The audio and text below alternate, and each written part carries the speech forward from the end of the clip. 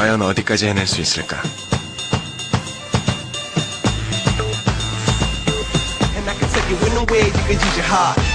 배치할 수 없는 존재가 되는 것.